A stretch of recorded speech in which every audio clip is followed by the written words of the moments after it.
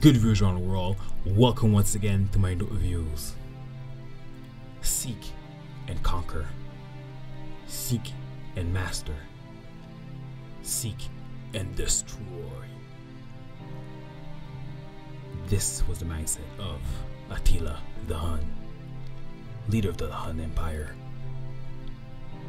This man is probably one of the ruthless, cold, sinister people that ever walk the face of the earth. So much so that he inspired countless many others.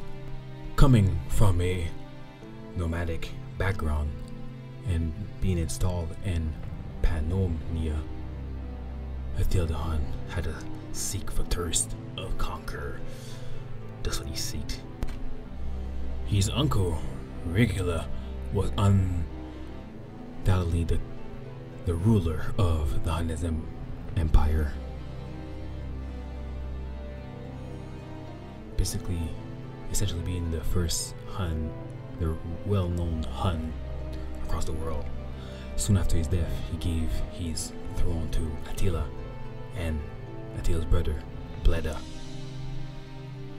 From them, they ravage, seek, or somber terror inside the hearts of Romans.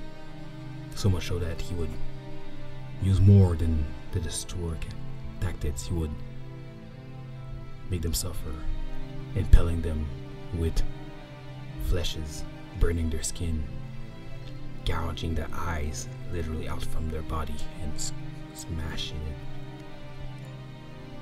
feeding their semi-alive corpse to the boar. He, he was a ruthless man.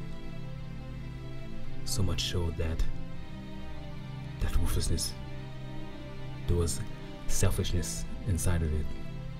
Can you imagine growing up with your own only brother and somewhat you decide to eliminate him because you want the throne, you want the power all for yourself do it in a callous way.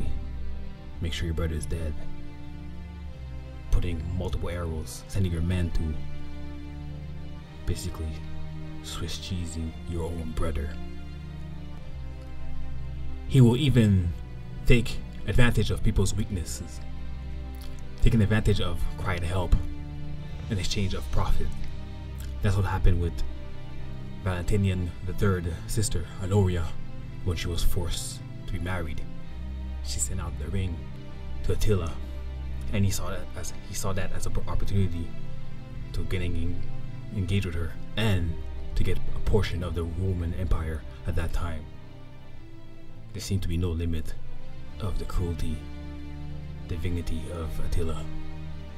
But all this darkness that was surrounded in his mind, we will never understand but we know for sure that that mindset was acknowledged throughout Europe and many other successors after him. I thank you viewers for watching this video. And remember, stay put, take notes, and move on to the next chapter.